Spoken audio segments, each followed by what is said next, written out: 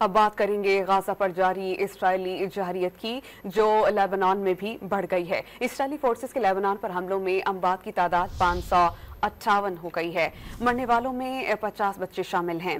Israel ने नए हमलों में बरूद के जनूबी मजाफात में गबीरी के इलाके में हिजबुल्लाह के एक कमांडर को निशाना बनाया। हिजबुल्लाह की जानब से निशाना बनाए गए कमांडर की शनाख्त ज़ाहिर नहीं की गई। लेबनान पर अब तक इसराइली फौज के डेढ़ हज़ार हमलों में दो हज़ार गोला बारूद इस्तेमाल किया जा चुका है।